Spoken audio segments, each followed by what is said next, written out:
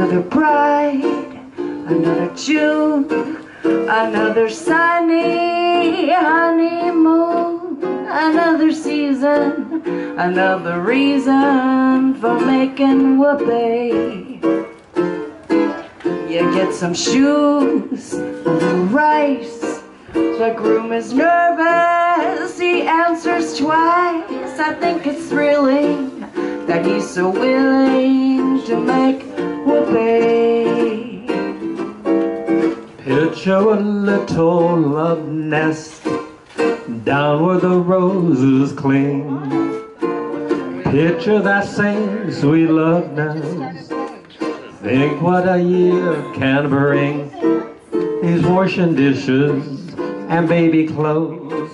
He's so ambitious, even sews. So don't forget, folks, that's what you get, folks, for making whoopee.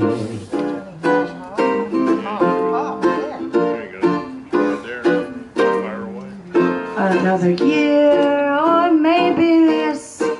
What's this I hear? Well, can't you guess? She feels neglected. He's suspected of making whoopee. She sits alone most every night. He doesn't phone her, he doesn't write. He says he's busy, but she says, is he? He's making whoopee. He doesn't make much money, only five thousand bucks. Some judge thinks he's funny says you pay six to her. Oh, ouch. He says, now judge, suppose I fail. The judge says, budge right into jail.